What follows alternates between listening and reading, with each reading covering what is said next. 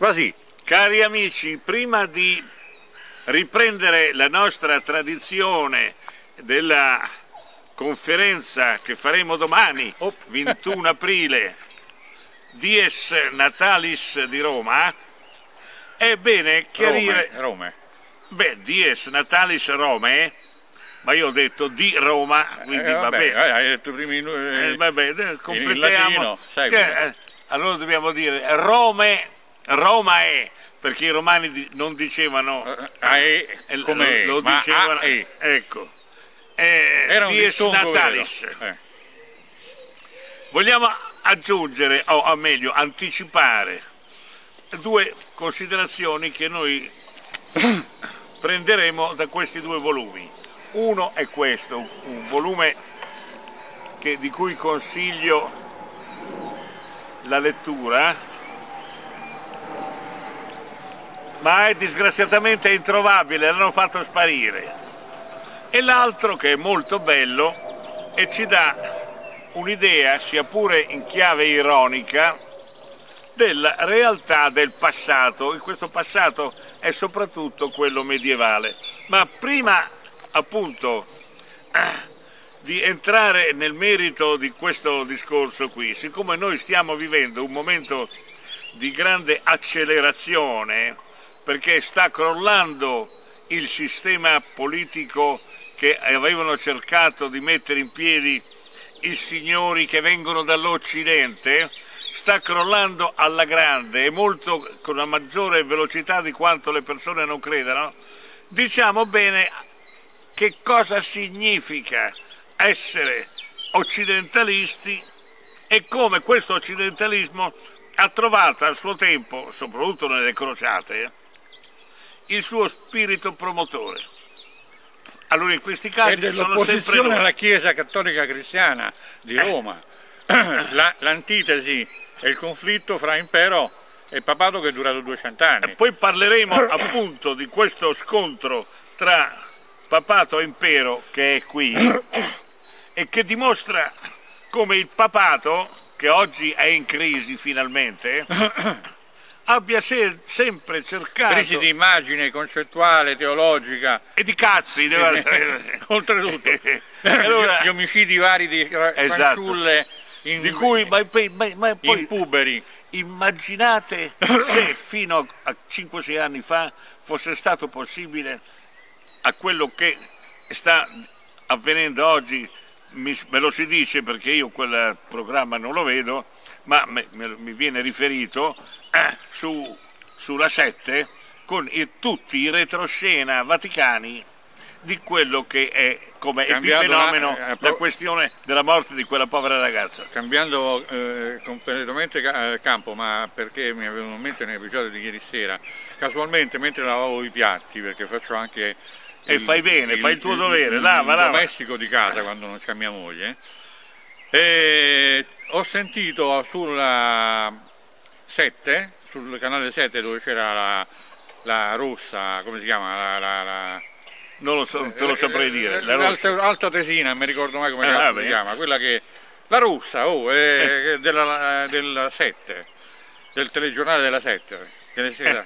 E allora ieri sera c'era Michele, Michele, come oddio si chiama? Mm, Michele, Vabbè, è lo stesso. che- Michele eh, eh, che faceva... Michele. che faceva il, il giornalista eh, eh, Santoro, Michele Santoro. Ah, sì. C'era Michele Santoro ospite lì alla Biondona, alla Fatalona, dove appunto incredibilmente si è posizionato sulle nostre posizioni. Sì, sì. Ha Dopo- detto dopo basta 50 l'atlantismo, basta il libertario, basta la libertà eh, sfrontata, eh, li- li- privatizzazioni e compagnia bella, più Stato, più società, più socialismo, Sì. più terza corte. Oh, io sono rimasto, cazzo, E avuto una, questi- una conversione sulla via di Damasco pure Sì. lui. È così, cari amici, è così. Quello che quindi- dicevamo noi 50 anni fa, Sì. finalmente qualcuno comincia a capire. Qualcuno incomincia a capire, vabbè ma intendiamoci, Santoro è uno che sapeva eh, tutto fin dall'inizio, intendiamoci bene, lui ha preso anche una buona posizione relativamente... No, ma il fatto che lo dica non sì. è che si è svegliato ieri, lui lo sapeva già, certo. però gli dicevano di dire quelle cose. Esattamente. C'è qualcuno che ha cominciato a dire ma di anche quello che veramente dà fastidio. Diciamo Vediamo che reagisce. Diciamo meglio che questa gente nel momento in cui questi hanno sempre gestito il potere e la sentono l'odore del cambiamento e, e, si buttano loro, eh come certo. dire, l'ho detto per primo eh io. Certo, allora, eh questo certo. ricordiamocelo. Eh certo. Allora, da questo importantissimo libro leggiamo alcune considerazioni e poi le deduzioni le trarranno i nostri amici. Ordini cavallereschi cattolici. La società alto-meridionale era costituita da una suddivisione geografica in larga misura coincidente con la ripartizione delle confessioni religiose. A partire dal secolo IX d.C., l'Europa di fatto coincideva con l'area di diffusione del cristianesimo. Esatto da cui la definizione assieme geografica e politica, attenzione qui all'origine del pensiero geopolitico, questa coincidenza coincide anche con la sostanziale eh, criticità dei rapporti tra la Russia, che ha una chiesa sia pure cristiana Ortodossa. ma di altro tipo Ortodossa. e altra tipologia, e la Chiesa occidentalista che ha i gesuiti al proprio vertice.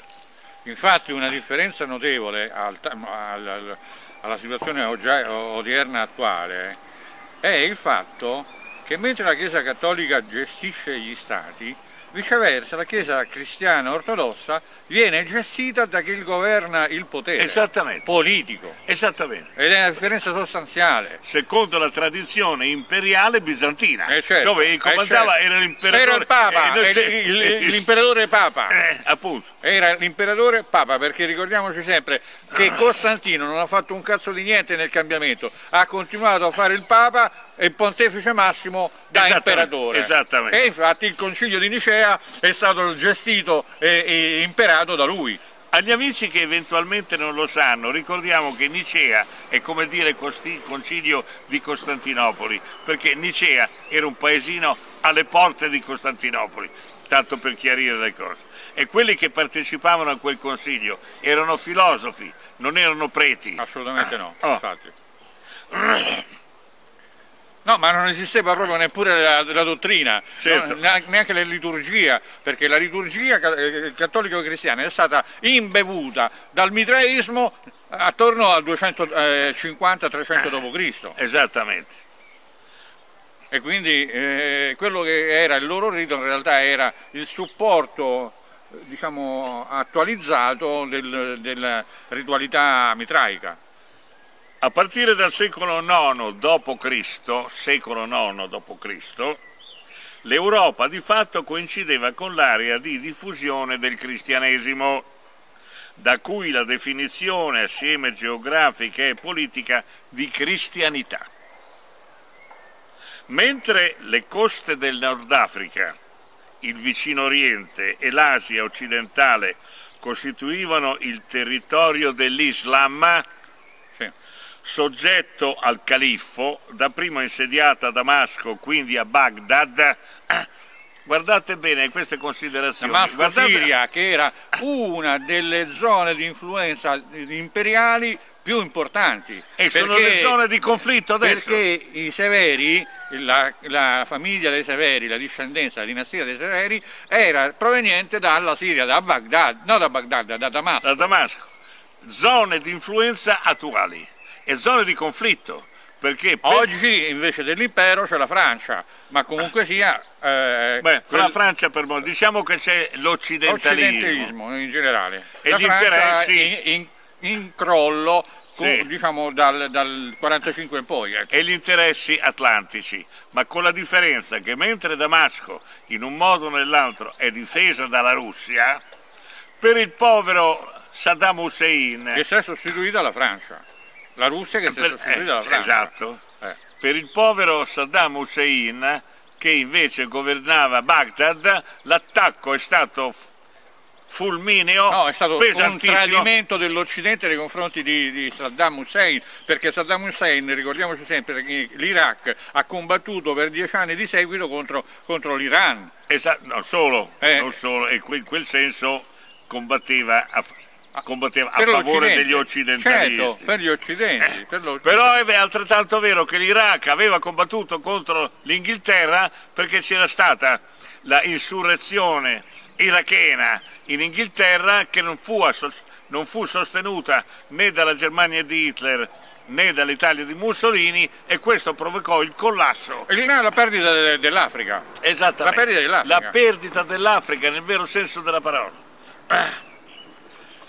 A Baghdad gli occidentalisti, ovvero sia gli americani, hanno provocato centinaia di migliaia di vittime, dobbiamo dirlo. Circa Cent... 500.000 bambini eh, o fanciulli iraniani. Esattamente, quindi ricordiamoci queste cose per fare i paragoni. No, morti dopo la guerra, sì, dopo aver perso la guerra per la fame, per le malattie. Ma con i bombardamenti per, che non hanno mai citato. E certo, con i bombardamenti che sono durati 20 giorni di seguito. E quel, e quel personaggio che ha denunciato alcune cose che avvenute proprio lì, adesso si salva per, per miracolo, perché tanto tanto che lo estradano negli Stati Uniti sarebbe condannato a 150, 150 anni di galera. Eh, Salvo contrasti locali, Assaggio, parliamo di assaggio. Eh, di portata più o meno temporanea, le relazioni tra i due mondi religiosi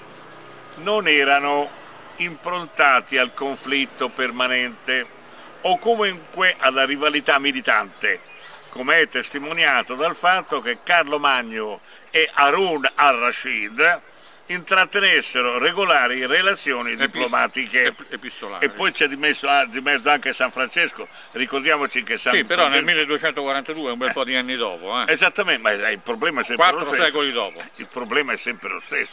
Cioè, il ribelle religioso è a Gerusalemme quando Gerusalemme era assediata eh, dai cristiani. dai cristiani. Certo. Quindi ricordiamocelo bene. E San Francesco si è salvato per miracolo perché è riuscito a sgattaiolare eh, dalla Gerusalemme assediata, si è salvata, se lo prendevano finiva male, veramente finiva nel rogo. Eh, il protettore d'Italia, giustamente. È stato, eh, come si dice, eh, anatemizzato da ah, ben sì. tre papi Anatema su di te, a San Francesco, li mortacci vostri. Vabbè, che... da che pulpito che viene la prega? Ecco, è quello. Il quale giustamente se ne fregava perché morì e do, dormiva eh, dentro mangiava, la grotta che mangiava, cazzo mangiava se capitava qualche eh, mela marcia. sì, quindi figuriamoci che mangiava gli insetti Vabbè, figuriamoci se gli fregava qualcosa dei, dei loro ricatti. Se però il territorio europeo era prevalentemente omogeneo dal punto di vista religioso, con l'azione eccezione della presenza di sparse comunità ebraiche, il mondo islamico era invece marcato da una costante presenza di minoranze cristiane. Ma quanti sono buoni questi? Eh, pensiamo ai cristiani maroniti che stanno lì a, a parte a quelli, Gerusalemme certo. ancora adesso. Sì. Eh, appartenenti sia alla confessione ortodossa che ad altre chiese non calcedoniane minoritarie. I luoghi santi delle origini del cristianesimo facevano parte del territorio dell'Islam e l'accesso ad essi da parte di pellegrini cristiani non conosceva rilevanti opposizioni, anzi era regolamentato e tassato dalle autorità locali. Tassato dalle autorità locali. Attenzione a quello che stiamo dicendo, perché questa questione è molto, è molto importante. Eh? Il ruolo delle minoranze e come oggi il sistema informativo batte ancora sui pericoli del terrorismo islamico in continuazione in, in, in, in Occidente. C'è il terrorista islamico, dove, poveracci, diciamolo chiaramente, poveracci questi qui, messi con le spalle al muro, se reagiscono giustamente vengono tacciati di terroristi, ma in realtà sono persone che vengono messe con le spalle al muro in condizioni di non poter reagire, se reagiscono devono per forza reagire violentemente. Proseguiamo, che è il punto, il punto Ricordiamoci sempre, è il settembre nero del 70. Sì, settembre nero. Che è stata un'azione voluta da, da oddio, comandante della OAS, come si chiamava? Eh, quello che è morto qualche decina, una decina d'anni fa. Come si chiamava? Eh, non me lo ricordo. Famosissimo, comandante dell'OAS. De, scusa, no, de, de, della Palestina, delle brigate palestine, come si chiama? Non l'OAS. Non mi, non mi viene in mente. La, la, sì, ma forse è proprio l'OAS.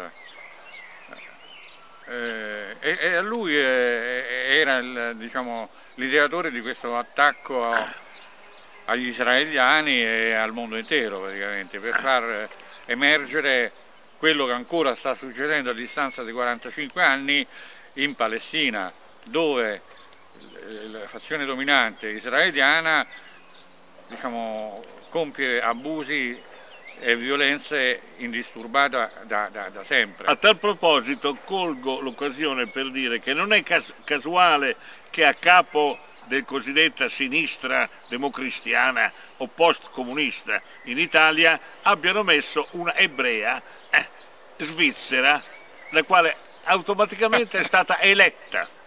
E infatti... Eh, eh no, lei era già deputata europea italiana. Sì, sì, appunto. Io vorrei capire come cazzo fa a difendere gli interessi italiani uno che è apolide praticamente, no? Certo. Senza nessuna... L'hanno messa lì, è chiaro, è talmente chiaro.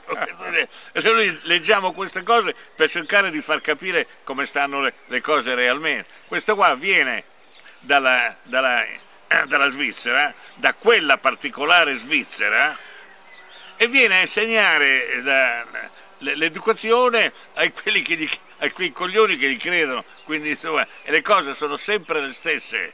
E, e in giro ci sono sempre gli stessi birilli. Eh no, il bello è che quando tu eh, provi, accenni minimamente a confutare questa eh, banale presa di posizione artificiosa, perché è, è completamente eh, strutturale la questione, cioè è, è voluta profondamente da un progetto molto più ampio. Esattamente, no? però, tu, tu, però io dico, la gente quando uno gli dice ma mettiti in dubbio almeno, no? Certo. Fatti venire qualche dubbio, manco quello, no, tu sei un reietto, sei un esasperato, eh un certo. integralista pure te perché non vedi le ragioni dell'altro, ma che cazzo stai a dire? Che quando qui che cosa devono fare? Hanno messo di tutto, addirittura le bombe eh, in giro per la Francia, l'Inghilterra, la, Germania, il Belgio. In, in Italia però guarda caso in questa, in questa, direzione noi che siamo stati sempre al centro del mirino, certo. parliamo per esempio degli, eh, di, quell'assalto all'aereo dell'Alitalia, mi pare che era, che hanno fatto arrest, eh, atterrare a Fiumicino attorno al 78 mi pare che era. Beh no, c'era eh, quello dell'attentato a Fiumicino.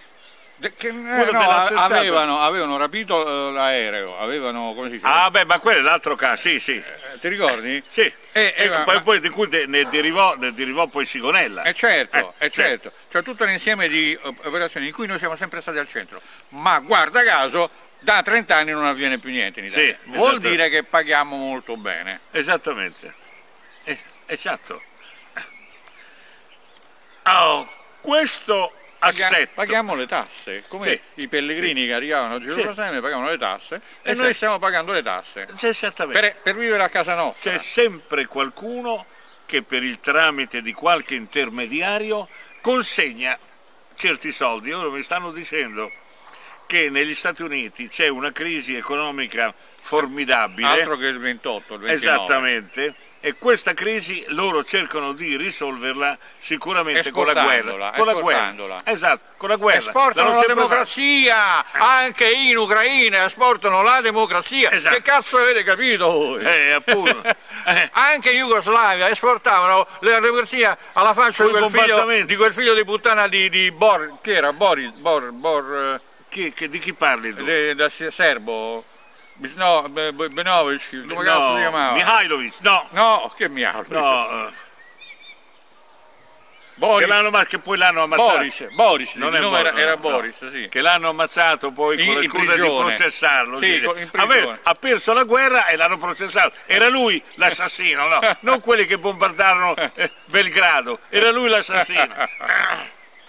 e poi l'hanno carcerato, l'hanno messo al Tribunale Penale Internazionale e lì l'hanno ammazzato. Cioè, dice, è morto di infarto, cazzo, muoiono tutti di infarto. Una volta no, morivano bruciati, era un'altra cosa. Comunque era più serio. Eh, sì, eh, Almeno ci mettevano la faccia i carnetti. Ah, non solo, ma vi posso Anche garantire eh, che è una, una, mia lettura di recente relativamente appunto a queste auto da fè, chiamiamole così. Eh, no, diciamo cos'è un'auto da fè perché magari qualcuno non lo sa. L'auto da fè è l'atto di contrizione praticamente, che veniva eh, imposto, in imposto Spagna, dalla Sacra Inquisizione. In Spagna, eh? in Spagna, in Spagna in anche in Italia poi. Anche in Italia c'era la commiserazione, sì, cioè il pentimento. Sì. Eh, tu ti penti, io, però ti bruciavano lo stesso. Eh, eh, perché ti, peccato, ti perdono dai peccati ma ti brucio. Sì, esatto, inestinguibile. Allora, il Papa è eh, un Papa del 1600, il quale penso bene ha maggiore elevazione delle anime di assegnare la, eh, eh, era sicuramente il Farnese, era, non credo, sì, no. Eh, era quello che poi aveva mandato il mandato di cattura al famoso pittore milanese, come si chiamava? Non te lo so dire. Il oh, quello che ha dipinto i, i, bari, che ha dipinto... Ah, cosa? Beh, beh, mica tanto milanese. Cara, caracciolo, il caracciolo. Caracciolo. No, che caracciolo? Caravaggio. Caravaggio. Eh, Io dimentico sempre il nome. Allora. No, l'inizio giusto è il terminale sì. sbagliato. Allora. Caraccio, eh, Caravaggio. Caravaggio. Il quale si dice che sia morto. Il, Car poi il Caravaggio che non si chiamava manco Caravaggio, cioè Caravaggio sì, era, era, era da, Carava da, Caravaggio. Da Caravaggio. Da Caravaggio. Ah mi pare severi, gentili, un, sì, un aggettivo. Non, non, me lo ricordo Un aggettivo proprio. era il nome, un, un aggettivo. Allora, il, il, quale Papa aveva pensato bene al supremo eh, conforto delle anime di dare l'assoluzione la, eh, perpetua, come si dice esattamente, la perpetua? Non viene, non viene la, la, soluzione da tutti i peccati, come si dice? Quello che, avviene, eh... quello che si fa a chi fa il giro delle sette chiese sì, eh... durante...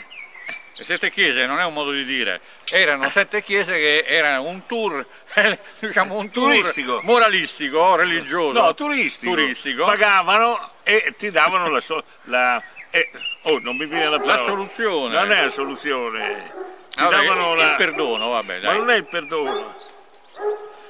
Lo so, ma, ma non viene, manca a me.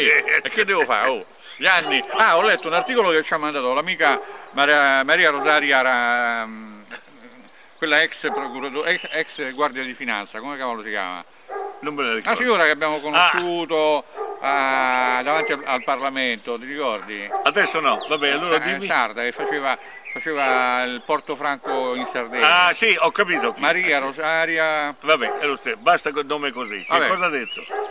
Mi ha mandato proprio un'ora fa, l'ho letto, sì. un assaggio eh, tradotto da un libro tipo, tipo Vabbè. un giornale, cioè una rivista mensile importante, ti, scientifica, che non mi viene sì. il nome adesso, oh, in quest'ora abbiamo Va bene, dai, dai, sì.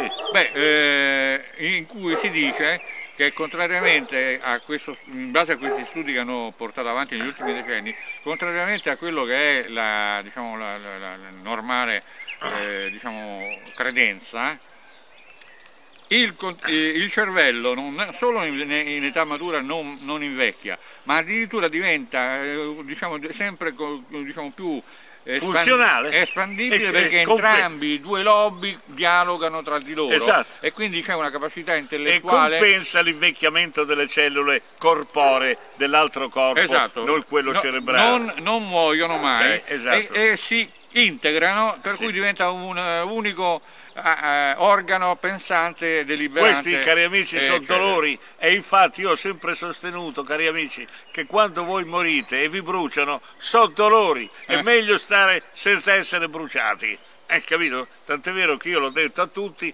nessuno mi deve cremare. Vabbè, io mi cremo.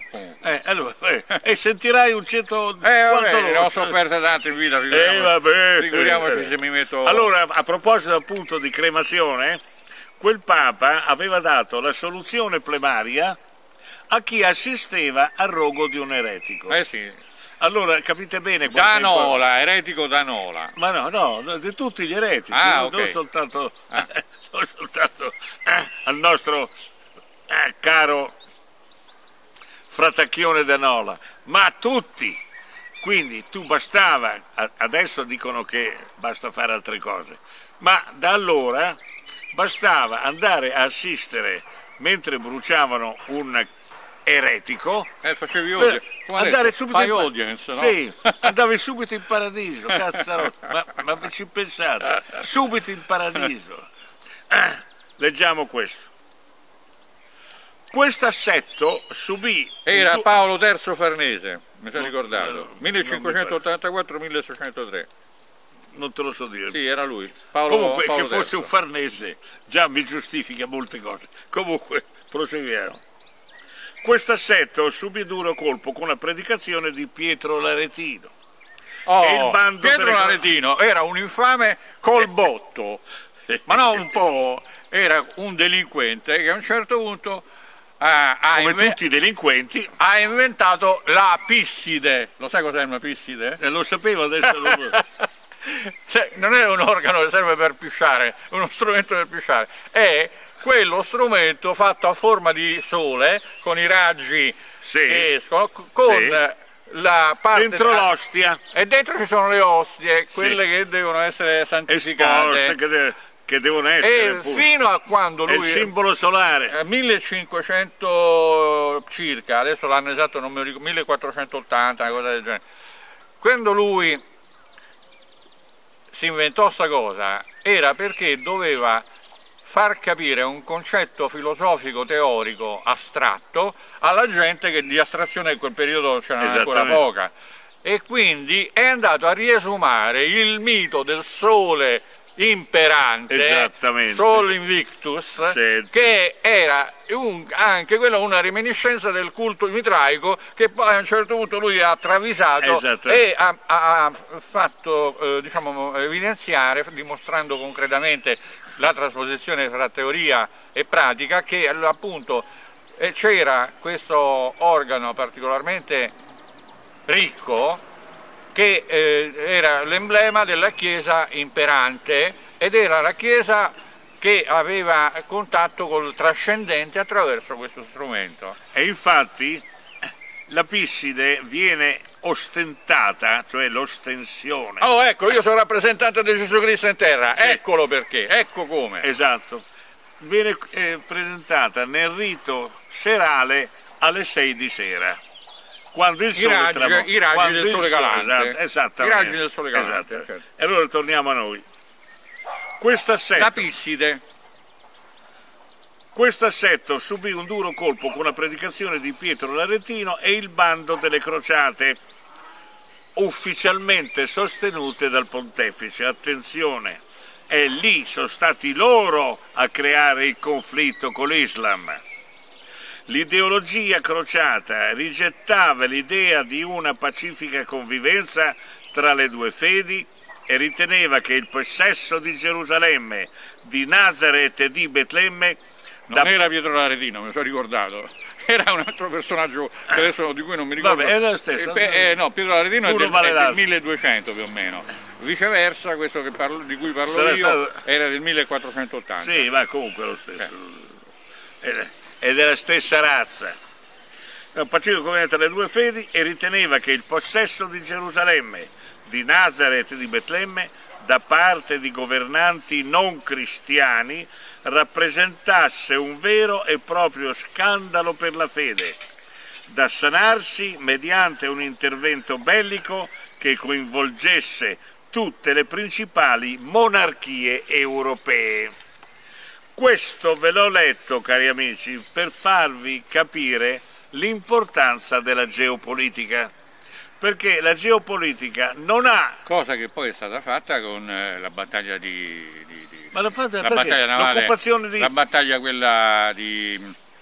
Ma l'occupazione di, di, Gerusalemme da parte degli ebrei, non è stata Ah, stimolati certo, dagli anglosassoni, certo. non è la stessa cosa. Certo, certo. Ah, quindi noi siamo nella stessa situazione, perché i conflitti, a prescindere dalle, region- dalle ragioni ideologico e religiose, nascono sempre dalle stesse motivazioni.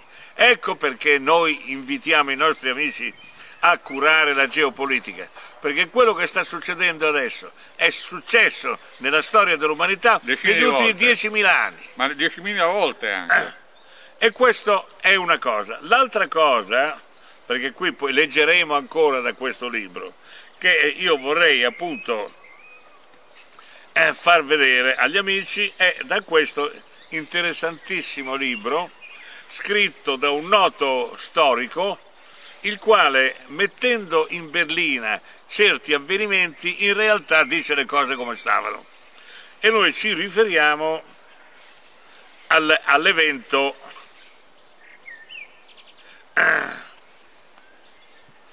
fondamentale di Canossa, dove alcuni dicono che l'imperatore Enrico sia stato umiliato da un pretaccio, Enrico IV. Il pretaccio era Gregorio VII. ecco, eh, che era Gregorio È VII. figlio della mignottuna. Ecco, eh, lui Ma è, perlomeno lo è dimostrava. quello, sì, è quello che lo ospitava, è quella che lo ospitava. Certo, la gran signora. Allora, leggiamo una controcronaca con il capolavoro di diplomazia impone al pontefice la revoca della scomunica. Cauti commenti tra le forze nobiliari. Canossa. Non sarà certo facile per l'anziano Gregorio dimenticare quei tre lunghi giorni trascorsi a subire i severi rimbrotti di Enrico vero e proprio manager dell'impero, dimostratosi oltremodo magnanimo nell'accettare di conferire con un papa di origine contadina, dai modi rozzi, la cui unica occupazione sembra essere quella rivelata da un autorevole settimanale scandalistico di fare il filo alla giovane e piacente Matilda. Da giorni Gregorio chiedeva, quasi implorando, un incontro con l'imperatore per essere informato da lui sulle nuove procedure di nomina dei vescovi. Se insomma devono essere nominati dall'imperatore, eletti a suffragio universale o sorteggiati con i dadi, O da tutti e due. o da tutti e due. Quello dei vescovi era in realtà solo un pretesto. Il vero motivo che spingeva Gregorio a incontrare Enrico era quello di riconquistare almeno in parte la sua stima attraverso un umile gesto di sottomissione. Evidentemente si era reso conto di averla fatta davvero grossa, con quella scomunica sparata un po' alla Carlona, più da pontefice della domenica che da serio professionista della religione. Lo stesso imperatore l'aveva presa a ridere e aveva chiuso un occhio sull'audace provvedimento, tant'è che si era concesso una spensierata vacanza in una località termale della Toscana, riservandosi di intervenire in un secondo momento per un eventuale rimprovero al Papa. Ma quando ha visto con quanta insistenza e tenacia il delegato pontificio lo pregava di recarsi da Gregorio, buttandosi ai suoi piedi, piangendo e recitando rosaria raffica in segno di espiazione, solo allora Enrico si è fatto accompagnare a Canossa per chiudere definitivamente la noiosa faccenda. C'è stato un piccolo incidente che però ha leggermente ritardato l'incontro. Il portone del castello aveva la serratura bloccata e per l'imperatore era impossibile entrare. Ha quindi minacciato di andarsene, ma è stato richiamato dalle urla disperate di Gregorio che dall'alto di una torre lo assicurava che era stato chiamato un fabbro e che l'inconveniente si sarebbe risolto in breve tempo. Ma come sappiamo l'Italia è un paese dell'approssimazione e il fabbro è arrivato dopo tre giorni. Dimostrandosi paziente oltre ogni limite, Enrico ha atteso fiducioso, attendandosi presso un ruscello per dedicarsi ai suoi sport preferiti, caccia e jogging. Quando infine il fabbro è arrivato e ha riparato la sesatura, Enrico ha preteso le scuse dello staff papale come condizioni per entrare, rompendo un'antica tradizione in base alla quale il Papa non deve mai chiedere scusa a nessuno. È stato Gregorio in persona a precipitarsi ad aprire il portone, inginocchiandosi umilmente davanti all'imperatore e baciandogli sette volte il piede tanti quanti sono i peccati capitali. Quindi, indossando un ruvido cilicio di penitente, si è seduto in terra facendo accomodare l'imperatore su un trono fatto costruire in fretta e furia dai migliori artigiani del posto. Mentre Matilde preparava una bevanda calda, è iniziato il colloquio che Enrico ha voluto concludere in fretta. In serata, infatti, secondo il calendario dei suoi impegni imperiali, aveva in programma una puntata in Lombardia per reprimere una ribellione di comuni. Tema centrale del colloquio ovviamente il problema della scomunica. Enrico ha sollecitato Gregorio in, a revocarla immediatamente, spiegando che in Germania ci sono almeno una dozzina di antipapi in pectore, tutti ugualmente ansiosi di sedere sulla poltrona pontificia. Gregorio ha intuito il pericolo che correva e si è scusato più volte per l'errore burocratico dovuto a un caso di omonimia. La scomunica infatti non era diretta a lui, ma a un certo Enrico da, da Pontassieve, un nobile toscano sorpreso a bestemmiare. Come tutti i toscani, la maggior parte dei toscani. Per le cattive condizioni del tempo. L'imperatore ha preso atto del disguido ma ha comunque imposto la revoca della scomunica Bernardino nobile, da Siena. Ecco. ecco, per il nobile toscano. Che era appunto in quel Bernardino, periodo... Bernardino. Con, eh, eh, nel XVI secolo in, con, in, concomitanza con il Concilio, il concilio di, Te, di, Trento. Il famoso scomunica, scomunicatore di usurai a comando. sì, sì. Bravo, allora lui infatti è eh, da Siena, cari amici, da Siena. È conosciuto perché aveva avuto rapporti con Pio II, sì. che era un eh, emissario diciamo, eh, particolar particolarmente noto usura degli usurai senesi che erano in lotta con gli usurai eh, fiorentini. Eh, lo stesso di oggi, cari amici, lo stesso di oggi. Cosa sta succedendo a Siena? Cosa fanno gli usurai di Siena? Eh, è tutto lì. E perché?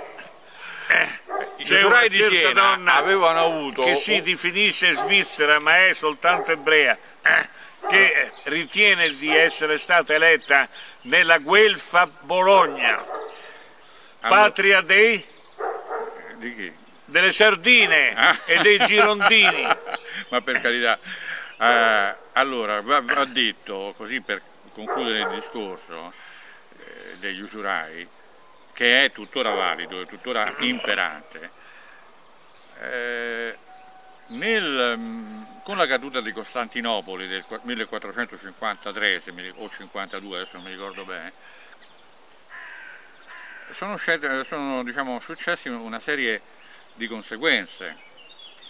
Una di queste conseguenze è stata una cosa che ha toccato eh, tutto diciamo, l'Occidente, eh, diciamo, il mondo conosciuto dell'epoca, perché eh, sotto l'impero, ancora il romano impero d'Oriente, c'erano eh, vicino a, a, Nicea proprio eh, certo. una cava di, eh, come si chiama, di allumi, allume che serviva per tanti scopi, veniva utilizzato per tanti scopi, in particolare era utilizzato in maniera totalitaria, massiccia, per tingere le lane o i tessuti in esatto, generale. Esatto. E siccome tutti, la lana è, è, è grigio sporco, diciamo così, e tutti volevano differenziarsi, per differenziarsi già in epoca romana eh, tingevano con le ostriche il, la porpora, no? Cioè, la, esatto. porpora è Purpur. una, purpura è, una, por, è una, una conchiglia da cui si ricava anche il colore della porpora, appunto. E lì eh, diciamo, la massiccia eh, quantità di colorante che si utilizzava all'epoca era l'allume. Non era un colorante, era il legante del colore, diciamo, del colore meglio. per tessuto, tessuto. Sì, diciamo era per far aderire il colore al tessuto e poi non farlo svanire ogni volta che si lavava. Il problema è che hanno le, massaggio, eh, massagna, mass, le, le massaie anche oggi. Allora, per tornare all'allume, questa miniera a un certo punto è andata in mano agli ottomani, a, al sultano, no?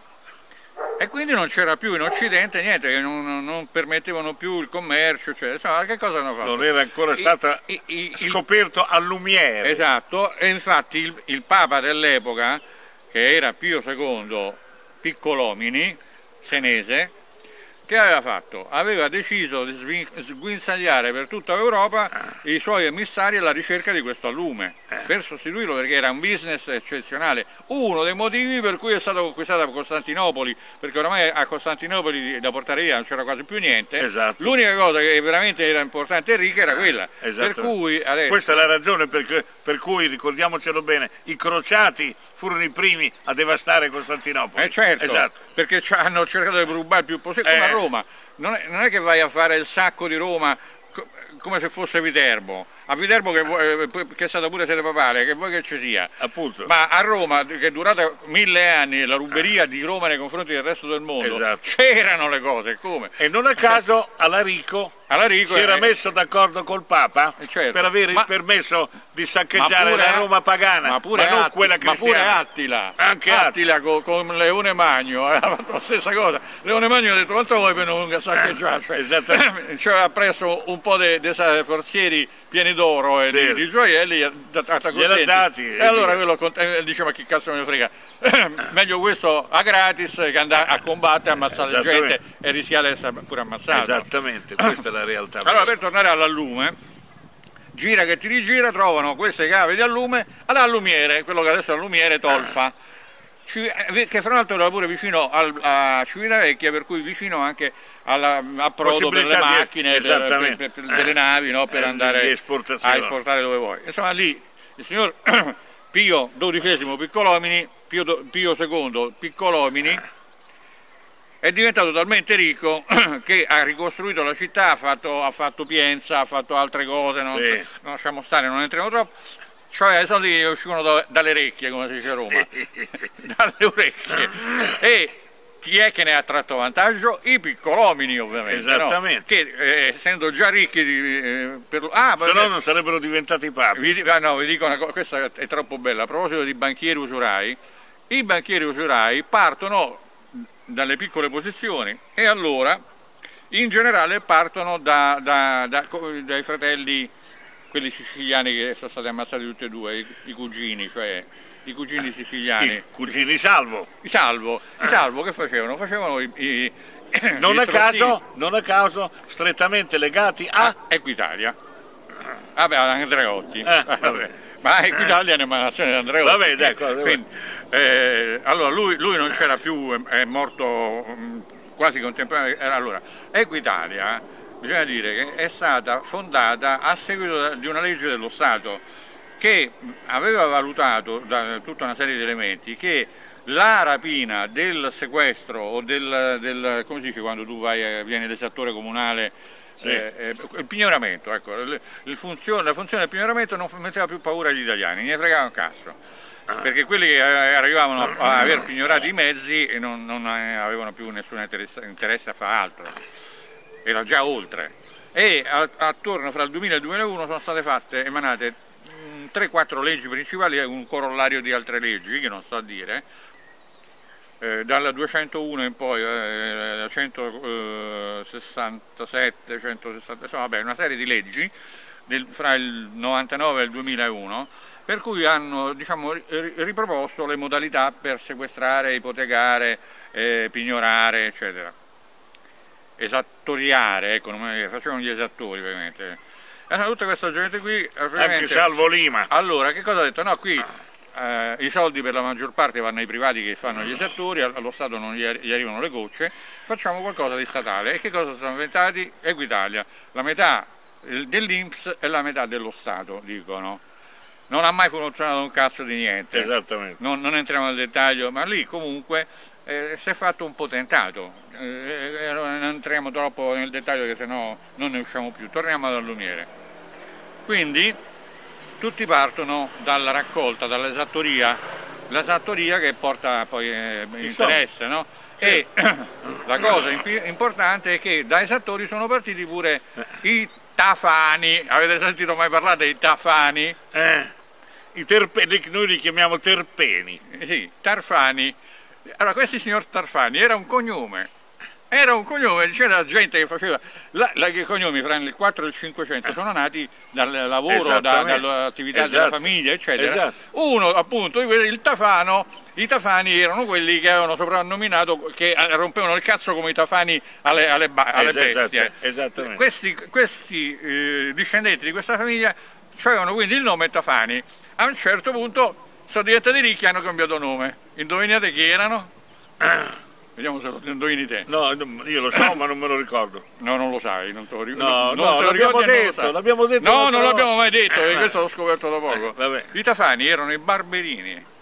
Quelli che poi sono diventati i barberini perché cioè i papi. hanno cominciato con l'esattoria locale piano piano si sono arricchiti, arricchiti, arricchiti con l'usura, poi con l'usura sono cresciuti a dismisura e a quel punto sono diventati cardinali, papi, eh, arcivescovi, arcivescovi cazzi santoni, che, che vi pare a voi, i barberini, di cui noi siamo amici di una discendente, fra esatto. che è una bravissima persona, eh, eh, che, eh. che salutiamo ovviamente se ci guarda perché è una persona veramente eh, Beh, si può essere notevole. quando ci sono i soldi che girano in casa. In no, caso... ma lei adesso sa, questa persona ha la situazione che abbiamo tutti quanti noi, anche lei è caduta in disgrazia ah, ecco. e quindi tutta una serie di conseguenze che non, non sa dire. In ogni Vabbè. caso hanno sempre detto che quello che non fecero i barbari fecero, fecero i, barberini. i, barberini. È proprio per questo motivo qui, perché sono, eh, hanno distrutto praticamente tutto quello che c'era di recuperabile dall'archeologia eh, classica romana per poi eh, utilizzarla per la costruzione dei loro immobili eccetera. Eh, esattamente. Palazzo Barberini è lì a Piazza, a Piazza Barberini appunto, eh, appunto, a dimostrare quello appunto sopra, che, sopra il mitreo Barberini sopra un mitreo sopra che io mitreo ho Barberini. visto bellissimo andatevelo a vedere è visitabile su appuntamento eh, non è finita questa storia no finisco, finisco eh. Quindi l'allume è passato di mano nel corso degli anni fino a che però è diventato di utilizzo da parte del Papa del, del momento eh, fino al 1860 quando un francese, se, eh, alchimista chimico che stavano crescendo come, come, i funghi in quel periodo lì in Francia con l'illuminismo e tutto quello che è successo della rivoluzione eccetera. E, e quindi lui come chimico ha inventato l'allume chimico per cui costava niente esatto. e giustamente ha fatto esplodere la chimica francese. Eh, vedi queste cose cari amici. Però ricordiamoci sempre che quel eh, frate quel Bernardino da Siena un famone eh. questo Bernardino da Siena che ha arricchito moltissime persone, eh, metteva eh, sotto accusa quegli ebrei che non pagavano, quegli ebrei usurai che non pagavano la concessione governativa. Esatto, che era, la concessione era del Papa, del Papa certo. eh, non governativa, del Papa, gli altri non contavano un cazzo. Vabbè, governativa del Papa, ecco se tu ebreo volevi fare l'usura dovevi pagare? pagare. No te lo dico pure. Pagare il bollo. ah, no non solo il bollo. Erano 250 kg d'argento esatto. all'anno. 250 kg d'argento all'anno. o all'ano è la stessa cosa.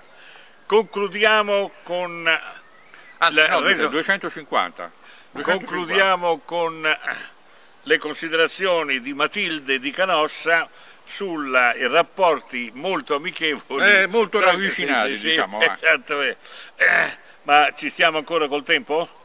Aspetta, eh.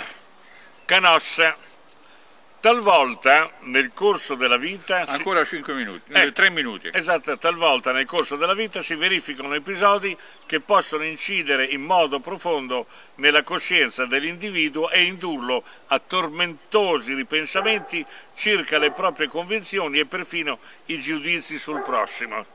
Sono stata diretta testimone dell'incontro tra Gregorio e Enrico e devo confessare che non ho mai assistito a niente di più deprimente e Oh, sconcertante. ricordiamo che Canossa non è Canosa Eh, in Puglia, è Canossa in Emilia.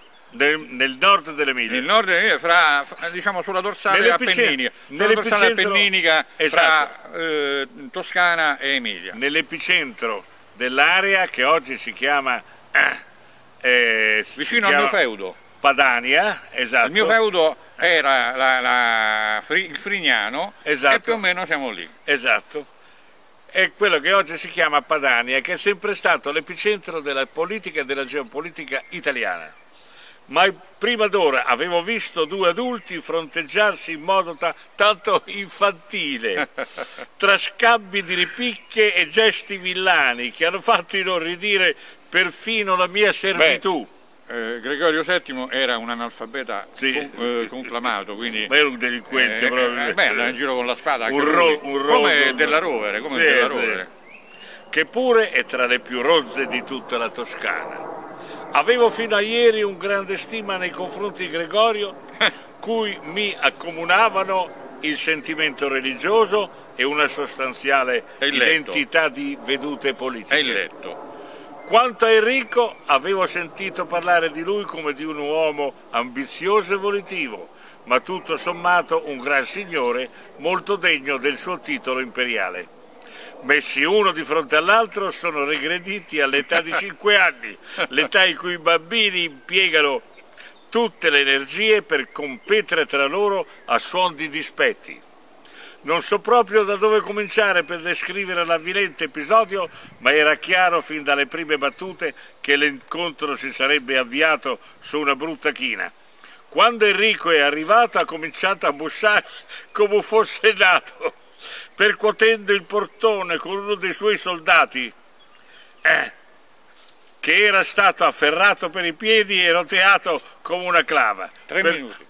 Per tutta risposta, Gregorio dall'alto di una torre lo bersagliava con le mie suppellettili e minacciava di requisirgli la Borgogna e la Lotaringia.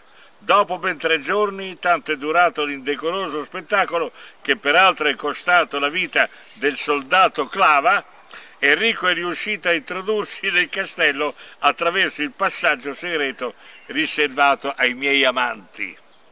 Subito è cominciato Che lui conosceva, guarda caso. sì, eh, su-. Subito è cominciato un furioso battibecco, con Gregorio che pretendeva di farsi baciare i piedi e Enrico che rispondeva con un gestato, gestaccio e urlava isterico. Dove diavolo hai, hai nascosto la mia corona imperiale? Ma forse per avere un'idea del confronto tra i due può essere più utile riportare un passo del loro dialogo. Vai, vai. Ebbene sì, ha detto Gregorio, la corona è qui nel castello, ma non ti dico dove l'ho nascosta. Ed Enrico di rimando, no? Allora sappi che domani vado a Roma e nomino Papa il primo che incontro per strada. Non puoi, ha esclamato Gregorio, non sei più imperatore. Già, perché tu credi di essere ancora papa? A questo punto Gregorio si è gonfiato il petto urlando, basta, vada a come parli, sai, tu mi devi chiamare santità. Enrico se l'hai squadrato dalla testa ai piedi, poi esplose una fragorosa risata e gli ha dato uno spintone esclamando ma mi faccia il piacere, papa, oh, con quella faccia, roba da van spettacolo. C'è di che preoccuparsi se la diplomazia internazionale è affidata a personaggi come questo. Non vado oltre per non inorridire il lettore, il quale avrà già intuito che il seguito è stato un poco nobile scambio di gesti delle corna, linguacce, turpiloquio, con insistenti riferimenti al membro virile.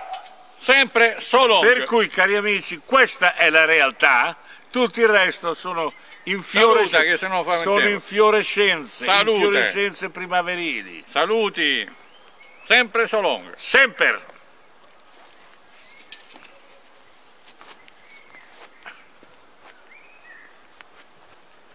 C'è ancora in qualche minuto ma spengo